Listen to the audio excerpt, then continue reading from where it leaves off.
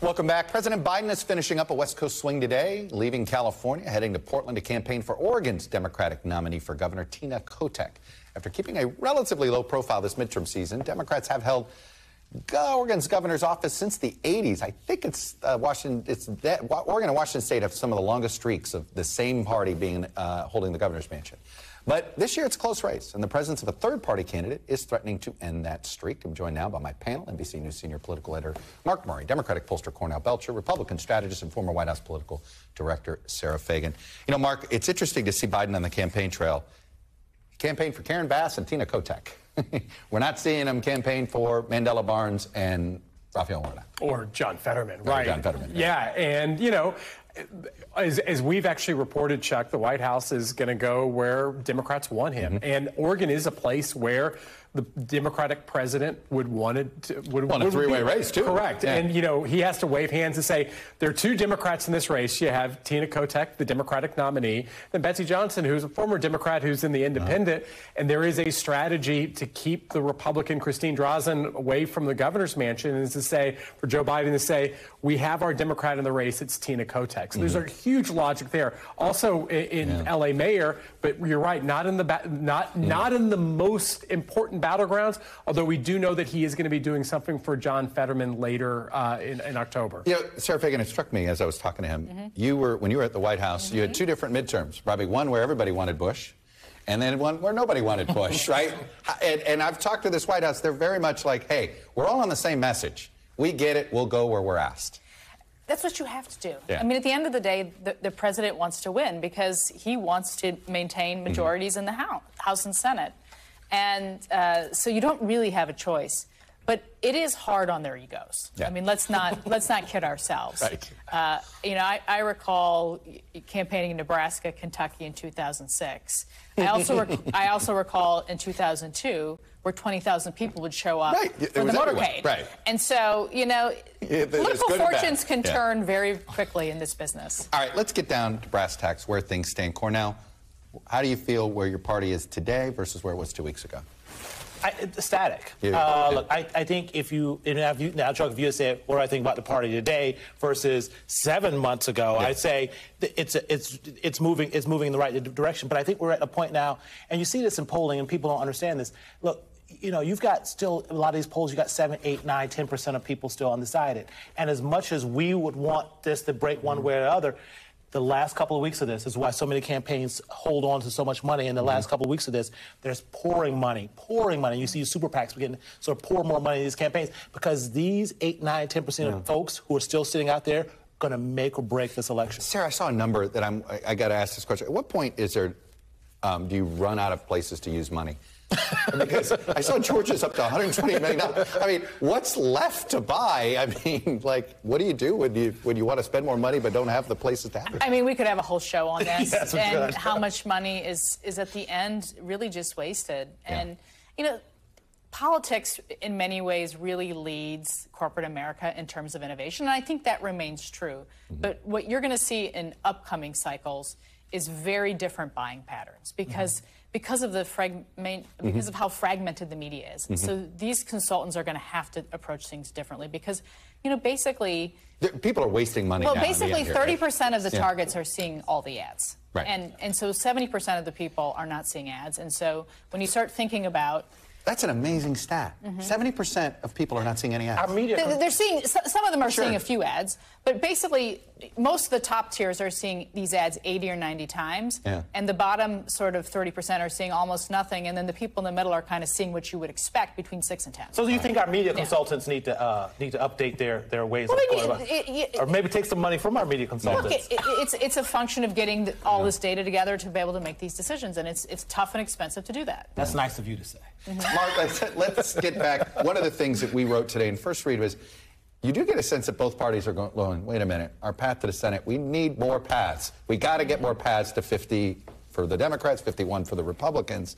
The Peter Thiel money check in Arizona, the Chuck Schumer check in North Carolina. Um, you know, I, it, it does seem neither party's feeling good here. Well, and there's a logic to having North Carolina and Arizona. They've been very close battlegrounds. All week? right? All year? actually, the last ten years. Yeah, you yeah. know, so so there is a logic there. I, I, to me, in my where my head is. it still is the game of 3 Mm-hmm. That the party that ends up winning two out of the three of Nevada, Georgia, and Pennsylvania is going to win the Senate majority. Mm-hmm. But you're right. Like all of a sudden, if you are the Senate Democrats and say, well, can we put one more state back on? We've had conversations where Democrats say, man, we'd love to be able to be able in North Carolina if we can. So can, go Right. in there. Arizona, again, is a state in which Republicans do have a registration advantage there. It's, It's- driving national Republicans crazy that Arizona's like, what do you mean we're not finishing this target, right? Well, you're not finishing these targets. Democrats aren't finishing these targets because Joe Biden's approval rating is underwater. Inflation's at 8%. percent Crime is up in a lot of these major cities. Uh, and Democrats are spending almost all their money on abortion, which is an important issue for a part of the electorate. But it's about the fourth most important issue uh, to voters overall. Well, By the way, Cornell, I have noticed it funny in this critique, and I think two weeks ago I would have agreed with you uh, that it's all abortion. I've noticed that Medicare and Social Security are showing up in ads this week. Oh. For, you know, and, and sort of the way taxes always show up in an ad to Republicans. Certain things are given, but I hadn't seen it before this week. Well, two things. One, I, I want to also go back to the cross pressure test because look, it, it, it, you're, for your viewers, let's let's get in the weeds a little bit. Here's the cross pressure. Sitting, if you're sitting in the DCCC and you've and you're trying to hold on to, to at least hold on to all these seats, you have incumbents who you've got to spend your money on incumbents. Last time Right. DCCC got in trouble because they said, "Oh, you're spreading too thin. You're trying to put too many, mm-hmm. too many on the playing play, on the playing field." Yeah. And and now they're getting criticized. Oh, well, you're not putting this in play. Well, the you're not putting this DSCC, though, play." seems to be overcorrecting that strategy. They don't even want to play in Ohio and Florida. I, or North Carolina. Yeah, you know, until I mean, recently, It's, yeah. Yeah, but they, but they, but they, but they have to. But the first thing, and I'm telling you, because I sat there at the desk at DCCC before, back in the Gephardt days, a long time ago, uh, and you, and you have to take care of the incumbents first. Yeah. Now, on the Medicare and Social Security, it's a good hit. Hit. You know, I, I've tested in polling, right? Yeah. It is a good hit on, on, on, especially for middle of the road voters who are now worried about their retirement. Yeah. The ideal that your these entitlements are going to be cut because of Republicans. It's a good hit, Chuck. Mark, I, the, the, the thing that I keep sort of trying to figure out in this election is, is why, and it's something we're going to tease for a little bit next week, why is a Kevin Stitt in Oklahoma in trouble and also uh, um, uh, Lujan Grisham in a New Mexico in trouble, right? A blue stater. It feels like this is a, an electorate that's cranky in general, and I think that that might make this anti-incumbent. It's cranky in general, and then you ended up looking at our own poll, the NBC News poll, other surveys that are out there. Everybody's super unpopular. There isn't a popular political figure, and again, we don't have to go All back 18 to. nominees in our top nine Senate races, I think they're all underwater, maybe except Mark Kelly. It was, it, it was just 14 years ago when Barack Obama and John McCain were incredibly. They had fave unfave ratings like plus 50s. 10, plus 20. It was you, we're, we're gone from those days, and so it's really not that hard to basically say, hey, Joe Biden is down, or you can even go to the governor of Oklahoma. You can go anywhere and say these politicians aren't serving you. This is such a cranky electorate. Everyone's unpopular. And- everyone's and, and vulnerable. Sara, I've noticed a lot of incumbents who are like, why are you running negative ads? It seems like a a lot of incumbents are nervous, are feeling like they better use their insurance policies, I guess, and, and go ahead, don't leave anything uh, wasted, I guess. Well, I think that's been a bit of a trend in Yeah. politics in recent years. You see kind of more negativity longer, uh, less branding ads, so to speak. Especially in races where you don't seem to need it sometimes. Yes, sometimes, and sometimes there's good reasons for the top of the ticket to do that because they're trying to to bring in a, Hmm. A you know the state house or the state senate or something, and they're Right. trying to to um, you know make sure people are voting ticket wide, not Mm-hmm. just for them.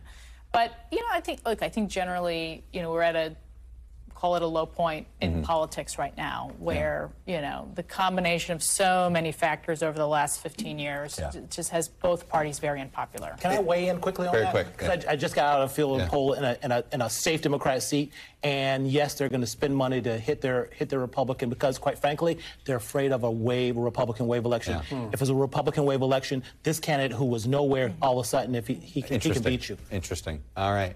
Mark Cornell, Sara, thank you. Enjoy your Friday. Thanks for watching our YouTube channel. Follow today's top stories and breaking news by downloading the NBC News app.